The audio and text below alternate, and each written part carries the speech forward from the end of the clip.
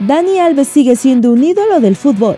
Y prueba de ello es la confesión que hizo el lateral derecho de Lanús, Leonel Di Plácido, quien esperó más de una hora al brasileño para recibir un regalo muy especial, su camiseta.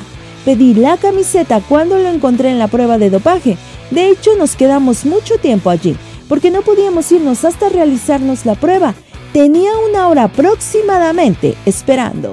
En entrevista con ESPN Brasil, Di Plácido agregó que tuvo detenido al autobús y a sus compañeros durante 60 minutos para cumplir el sueño de además retratarse con el exjugador del Barcelona.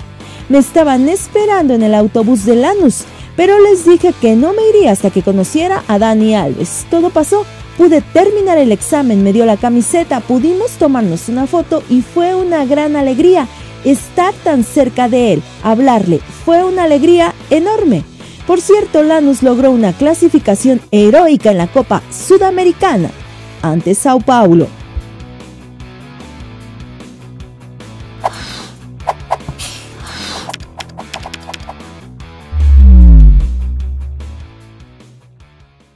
Ya que nos encontraste, no nos pierdas. Suscríbete a nuestro canal de YouTube de Telemundo Deportes.